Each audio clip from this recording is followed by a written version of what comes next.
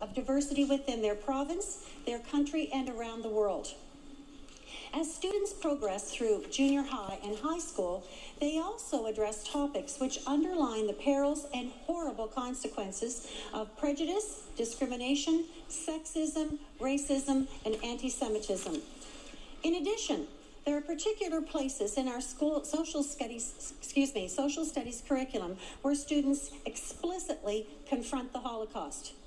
In grade 8 social studies, as students examine the Second World War, the Holocaust is specifically noted as students are asked to examine Canada's reaction and response to the moral and ethical issues raised by events such as the Holocaust.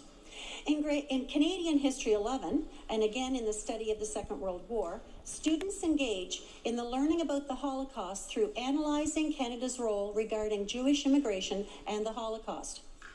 A thoughtful examination of issues of justice, including issues of genocide, is something our students must undertake as global and Canadian citizens in the 21st century.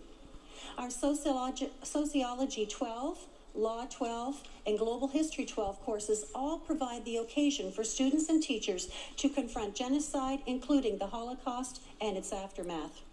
The Department of Education has listed and provided a wide range of resources to support Holocaust education, including two new books.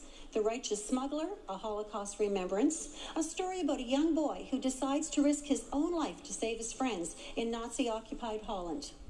The Underground Reporters is an account of Jewish children in Czechoslovakia in 1940 who struggled to maintain hope and the ideals of peace through a secret newspaper.